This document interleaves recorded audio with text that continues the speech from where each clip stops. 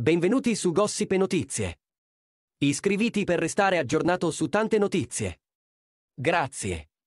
Per giorni, Barbara D'Urso ha tenuto sulle spine tutti i suoi fan con messaggi criptici lasciati soprattutto su Twitter. La nota conduttrice televisiva aveva spiegato di essere pronta a una nuova avventura e tantissimi tra i suoi followers avevano creduto che Barbara sarebbe presto tornata in tv. E, invece, è accaduto l'inaspettato. Niente televisione per Barbara D'Urso che ha deciso di ampliare i suoi confini online. Vestita con un pigiama rosa e con in mano una tazzina di caffè, la conduttrice ha postato il primo video sul suo nuovo account di TikTok. Siete pronti a una busta shock? Oggi è il mio compleanno. Allora stavo pensando all'anno che verrà e ho pensato che voglio passarlo con voi, voglio condividere con voi.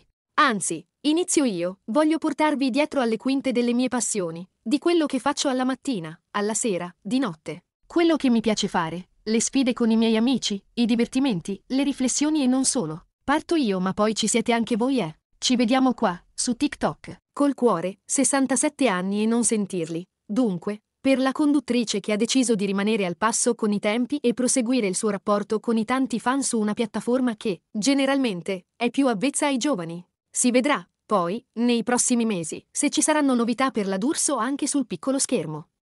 Grazie per l'ascolto e iscrivetevi al canale per essere aggiornati su tante notizie. Grazie.